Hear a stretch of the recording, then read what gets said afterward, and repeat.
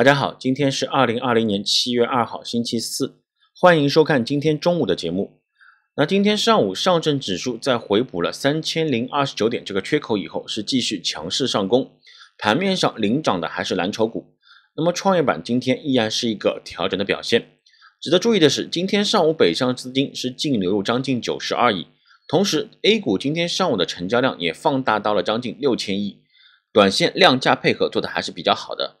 另外，券商板块今天上午是大涨了百分之四点四六，半天成交量也达到了四百四十二亿。虽然说今天上午券商板块表现非常不错，但是如果现在就要断言券商板块将会发起连续强势攻击的话，那么这个现在我们觉得还不能完全肯定。所以，对于券商板块，我们要保持密切跟踪关注。